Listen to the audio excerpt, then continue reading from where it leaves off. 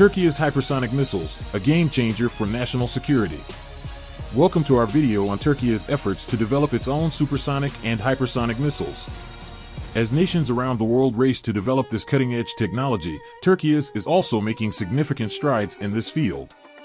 In this video, we will take a closer look at the various projects that Turkey is currently working on. We will also explore the importance of hypersonic missiles, the challenges they pose, and how Turkey is positioning itself to stay ahead in this field. Turkish defense industry plans to produce its own national supersonic and hypersonic missiles, according to a senior official. The country is currently working on the Ramjet project, which aims to reveal a working engine this year, and the Scramjet project, which is in the conceptual stage and supported by doctoral studies. Turkey is also investing in a trisonic wind tunnel, called the TUBITAK-SAGE Trisonic Tunnel, TSTT, which will allow for tests at subsonic, supersonic, and transonic speeds.